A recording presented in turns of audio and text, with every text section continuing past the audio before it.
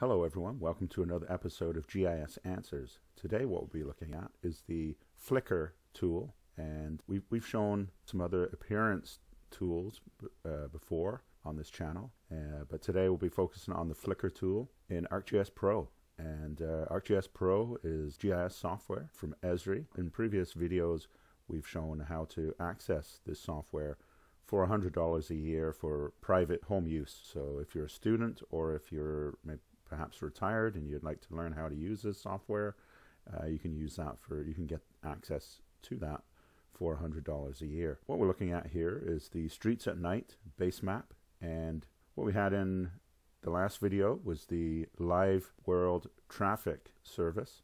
And that's an online data set hosted by Esri and provided by Esri. And it's available through the Living Atlas. And you can see the video on on that data and how to access it and uh, basically uh, how to how to use the data and how to visualize um, to understand what the data means. What we'll do here is we'll zoom in on Europe and we'll turn on the Europe data and we'll zoom in on London and there should be some uh, some traffic heavy traffic in Europe that you can see the red dots mean incidents such as uh, road closures or accidents this data is being streamed through the web, so we're waiting for a refresh on some of this data. And as we zoom in, you can see the red would indicate traffic jams, and the yellow and the orange are slower traffic flows, and the light blue would be clear traffic flows. So in order to, to um, access the Flicker tool, what you can do is you click on the layer. So I'm clicking on top layer, the layer name, you go to appearance and then flicker. So I'm clicking on that flicker and you can increase or decrease the speed of that flicker. So if you increase the time, it's going to slow down. It's going to slow down that flicker speed.